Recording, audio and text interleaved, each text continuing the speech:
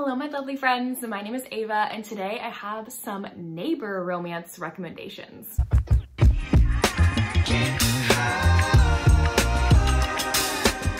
This is the second video that I have made where neighbors end up falling in love with each other, so I will be sure to link my first video down below. I made that one, like I wanna say three years ago, so if you want more recommendations, you can go check that video out. So let's talk about neighbors falling in love with each other. These can get really, really fun. And I didn't realize until recently that I actually really love the neighbors romance trope. Like, I think it is so fun. So the first one for me, which is one of my favorites, is A Girl Like Her by Talia Hibbert. Ruth is our heroine in here, and she very much loves to be in her apartment. She is not someone who likes to go out and socialize. She loves to work her remote job being a graphic designer at home with all of her comic books. Ruth is also autistic, so I love that representation in here. One day she ends up getting a new neighbor. His name is Evan, and he is very much the opposite of Ruth. He loves talking to people. He's very much a people person. He's very confident in himself and he's very bubbly. And Ruth is kind of the opposite of that and she knows that. And she kind of is irritated with Evan and how persistent he is into getting to know her because she's just like, this man is too happy. What is wrong with him? He is too happy. But then Evan one time comes to her doorstep with food that he's made. He loves cooking and he strikes up a deal with Ruth because he knows that she's just eating takeout all day, every day. He's like, that can't be healthy for you. So you know what I'm gonna do? I'm gonna cook you these amazing, wonderful meals. And I really wanna get to know you in exchange like can I read some of the comic books you have? And she is more than willing to talk about comic books with him. Like that is like her main hobby in life and she loves it so much. And I love how you get to see Ruth's personality really shine when she talks about comic books. Ruth does have a guard up, but it's because of her past, especially with men.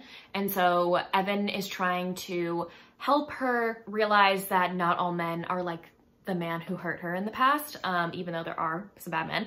Um, he is different and he is falling in love with her. And oh, this neighbor's romance is so cute and so sweet. And I cannot get enough of Ruth and Evan. I really want to do a reread right now for this book because I think it's everything. I love Ruth. I love Evan so much. And oh, I can't get enough of them. Next is Twisted Love by Ana Huang. Um, so our heroine here, Ava, her brother actually lives next door to her and her roommates, they own a house together or rent a house and her brother is like, owns the house next door to them. Um, but he is going overseas. He's a doctor, I'm pretty sure, I think. And he's going overseas to do something um, with being a doctor. and so he asks his best friend to kind of watch over Ava while she's in school, she's in college, and just like make sure she's okay, like keep an eye out on her. So um, he might take it to a little bit of the extreme when he decides to move into his friend's house, therefore living next door to Ava to keep an eye on her. And the tension between the two of them are off the charts. Ava's very much like the bubbly, sunshiny person, and she really wants to just see this man crack and smile for once. He's very grumpy and very stoic. So she she's trying her best to do that. But while he's trying to protect her and look after her at certain instances, she's very fed up with him because she doesn't think she needs a babysitter. She's 22. But anyway, throughout the process of him watching over her, like the two of them end up falling in love with each other, even though they shouldn't, because that is her brother's best friend.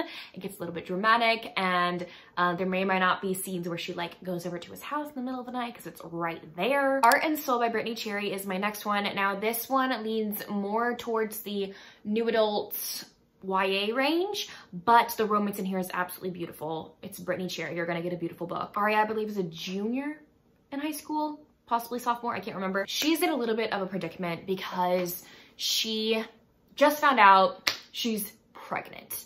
Um, and the guy that she was with kind of betrayed her trust in certain aspects and she doesn't know what to do. She has a very perfect home life and when the news comes out, her home life kind of crashes and burns. Um, and her solace in this whole situation is her new neighbor across the street, Levi. He just moved from a different state to come live with his dad, who he hasn't seen in a very long time. He just needed a new change of scenery with his life, and he thought living with his dad for a bit would be that good thing for him, even though he and his dad do not have the best relationship. And his book is also about him trying to form that relationship with his father. Aria and Levi end up becoming very close friends and it turns into something more. They are so sweet and cute and caring and loving towards one another.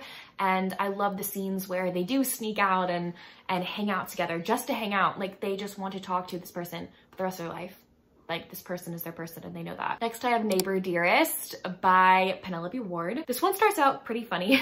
so our heroine in here, her name is Chelsea. This is the romance between Chelsea and Damien. So Chelsea in here is next door neighbors to Damien in their apartment complex. And the walls are pretty thin. And um, one day, Chelsea is on a Zoom video call with her therapist talking about a very embarrassing situation. The walls are so thin that she can hear her neighbor who shares a wall with her snickering while she's telling this therapist about this very embarrassing, funny situation, but it's very embarrassing. And then she realizes that this man can hear her through the wall and she's mortified. So the two of them don't get off on the best start because of that. Um, and also like his dogs are barking all day long. And so she goes to confront him about the dogs and the dogs kind of like tackle her and she might get a little bit hurt. So like this book is very funny at moments. It has those moments of hilarity, but there are some serious moments in here. Anyway, so they do not start out on the right foot, but then they slowly start becoming like each other's best friends. This is very much a I don't like you to friends to lovers romance. But Damien and Chelsea in here, their relationship, I really like seeing the progression of that um, because you don't see that a lot in romance books. In a lot of romance books, like you hit it off or it's more so enemies to lovers where like this one is, I'm not really that big of a fan of you. You annoy me to, oh, you're like my best friend to lovers. It was such a good read. Next, I have The Bombshell Effect by Karla Sorensen. This is the first book in her Washington Wolves series. So this is like a football romance series. Our heroine in here, her father, who she's kind of been estranged from for a while, just recently passed. And in his will, he left her a football team. Like he owned the Washington Wolves football team. She's now the new owner of it. So she ends up also inheriting like a certain house also in the area and she really wants to befriend her next door neighbor. She realizes that her next door neighbor has like a little girl living there and decides to go and give them a peace offering by baking them cupcakes and bring the cupcakes to them. Where our hero in here is actually on the Washington Wolves football team they haven't met yet because she has not gone to her first day on the job yet. And so when he opens the door and sees this girl there with cupcakes, like this woman there with cupcakes who's beautiful, he thinks that she's like some groupie wanting to like get with him and stalk him or something. And so basically like slams the door in her face and she is very offended. So they are both shocked when they show up at work the next day and are like, oh, you're this person? Oh, you're this person. Like, mm. There's a lot more going on in here, but I love the neighbor part in here because the guy is a single dad and his daughter just like wants to go over to the neighbor's house so often because like she thinks she's like Barbie or a princess or something. Like she loves her. And there's like tension heavy like deck and pool scenes like that have longing looks. So next I have Kiss My Cupcake by Helena Hunting. This one's interesting when it comes to the neighbor part because they're not neighbors when it comes to where they live. They're neighbors in businesses. So our heroine here, her name is Blair, and the hero's name is Ronan, right? Blair and Ronan. So Blair owns this cupcake cocktail shop that's recently opening, um, about to open, and she's not very happy when the bar next door to her cupcake shop um, is getting remodeled to be like an axe throwing bar now, and the axe throwing like the wall that has the targets on it is right up against her shop and sometimes the wall shakes and it's broken a few of her glasses and she's not very happy. So she goes to confront the guy who's remodeling the bar and like they do not hit it off. This is very much like animosity, don't like you to lovers romance. They like compete with each other's businesses and it kind of like turns them on to do that. Like they cannot get enough of competing with this person. Um, but then they start falling in love with each other and each other's businesses because at first they just like don't like the other person's business. She's like axe throwing in a bar with sports, like, ugh, don't like that.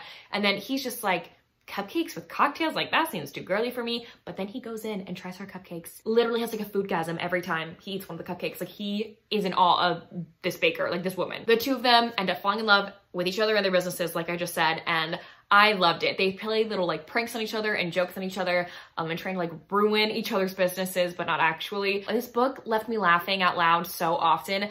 I thought it was a great book and it is unique because it's not like neighbors romance and the fact that they're living next to each other, but they're neighbors in each other's with each other's businesses. Next is an oldie for me. This is Wait For You by J. Lynn, who just happens to be Jennifer L. Armentrout. So Jennifer L. Armentrout has written like this whole series, the Wait For You series, like filled with uh, new adult characters. This one's about Avery and Cameron. Both of them attend the same college and she just so happens to live across the hall from him at her new apartment when she moves to this new college. Cameron just so happens to be like the, the school soccer star at the college, um, but I think he's taking like a break this semester. I can't remember why. The moment that Cameron sees Avery, like he is all for getting to know her and pursuing her, um, but she has past trauma and some things that have happened to her in her past that she's not ready for relationship. She's not ready to get to know a guy, but Cameron just like full on falls in love with her and wants Avery to be his in like a respectful way, but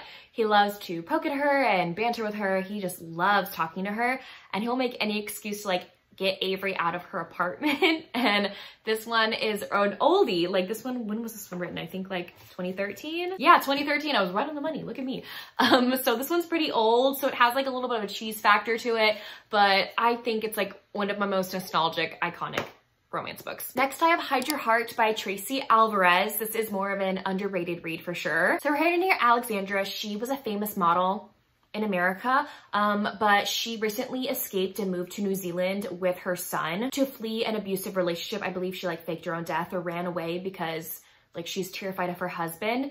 Um, and she bought this house, I think on the ocean and just wants to be reclusive for the rest of her life. Not entirely because she wants to make sure her son has an amazing life, um, but she just wants to make sure nobody recognizes her because she changes her name, she changes her appearance because she does not want her husband to find her. So she's kind of upset and really frustrated when the house next door to hers in New Zealand, like where she's moved to, immediately gets bought by someone who's a famous photographer and he wants the house to become kind of like a famous staycation home for celebrities so he can like take photos and do video stuff there or something like that.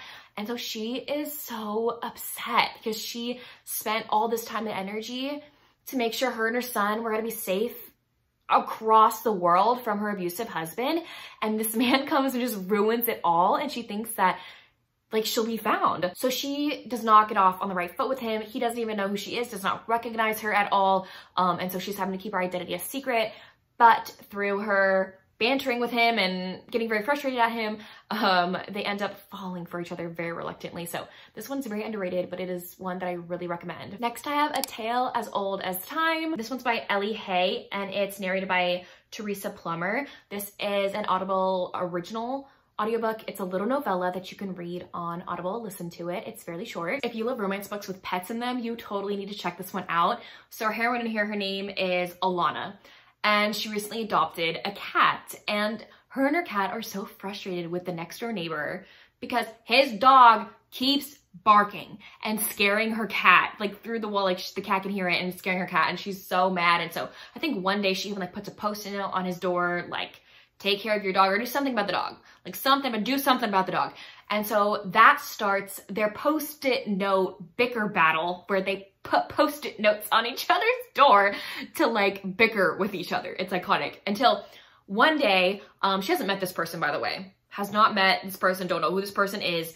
Um, but one day, both of the pets get out and the two of them, she meets him and the two of them have to work together to track down both of their pets um, throughout the big city. I think it's in New York. I don't know where it is, but it's a bigger city. And so they're trying to like work together to track down their pets in the city. So um, it's really cute and really sweet. And I love the banter in this one. The last one that I have is a historical and I'll just quickly mention it because I've talked about this book in a lot of my rec videos recently. So it's probably getting kind of redundant, but How to Entice an Enchantress is a neighbor's romance. Ollie as a heroine and her family owns the house next door to Lord Kirk's house and the two of them become friends and chat about books and things they're passionate about. But when he proposes to her, um, because he thinks that she'll just be an amazing companion in life because they have a lot of the same interests, um, she's very offended by some of the things he says and um, hasn't talked to him in quite a while. So he goes to her godmother's house and is like, who's a duchess? And it's like, I will do anything for you to figure out how to get this woman to marry me because I feel like she'd be a great wife. So I need a wife. The Duchess in here works on a house party and Dahlia's invited and Lord Kirk and her have to spend time at this house party together.